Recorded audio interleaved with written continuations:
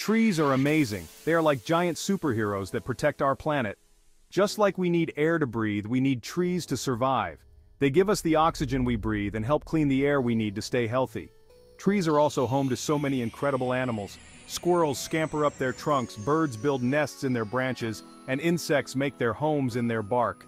Trees provide food and shelter for creatures big and small, making our world a richer and more exciting place. But what would happen if these superhero trees started to disappear? What if their homes were destroyed? That's what we're going to learn about today as we explore the problem of deforestation. Take a look on our websites at Wild Goose Education and Starbeck Education for some amazing rainforest resources.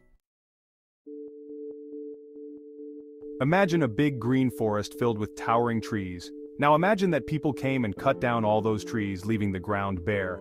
This is what deforestation is. The cutting down and clearing of forests. People cut down trees for many reasons. Some need the wood to build houses, furniture, or even paper. Others clear forests to create space for farms or roads. While these reasons might seem important, cutting down too many trees can have serious consequences for our planet. Remember, trees are like superheroes, and we need them to keep our planet healthy. When we cut down too many trees, it's like losing our planet's protectors. Imagine if someone came and bulldozed your house. You wouldn't have anywhere to live or find food, would you? That's what deforestation does to animals. Many animals like monkeys, birds, and insects depend on trees for their survival. They build their nests in branches, find food among the leaves, and raise their young in the safety of the forest. When forests are destroyed, these animals lose their homes and their source of food. Some animals are lucky enough to escape to other areas. But for many, deforestation means they have nowhere to go.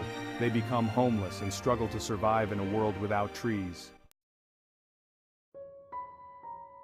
Section 4, The Domino Effect. Deforestation and our ecosystem. Everything in nature is connected, like a delicate chain. When we remove one part, it affects everything else. Deforestation is like removing a crucial link in this chain, and the consequences can be devastating. Trees help clean the air and provide oxygen. When we cut them down, the air becomes dirtier, and we lose a vital source of clean air. Trees also help to control the climate by absorbing rainwater and preventing soil erosion. Without them, the land can become dry and infertile, making it difficult for plants to grow. Deforestation can also lead to more floods and droughts, Trees act like giant sponges, soaking up rainwater and releasing it slowly. Without trees, rainwater runs off the land quickly, causing floods and soil erosion. Section 5. Be a tree hugger. Why we need to protect our forests. Deforestation is a serious problem but we can all be part of the solution. We can all be tree huggers. We might not literally hug every tree we see, but we can show our love and appreciation for trees by protecting them, we can start by learning about deforestation and talking to our friends and family about it. We can support organizations that plant trees and work to protect our forests. We can also reduce our paper consumption by using both sides of the paper and opting for reusable containers instead of paper ones. Remember, even small actions can make a big difference.